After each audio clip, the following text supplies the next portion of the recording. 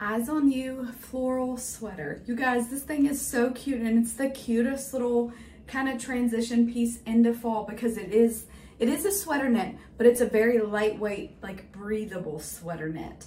So it is a polyester acrylic blend. So there is some stretch into this guy. It's really soft.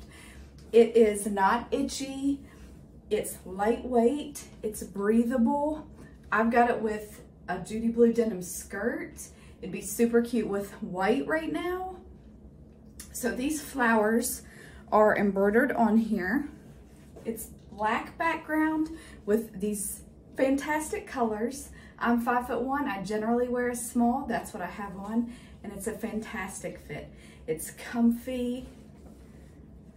It would be super cute if you went up a size or two and had some leggings or um, biker shorts with it. That would be super cute mixed together. Cutest sweater. You guys are gonna love this.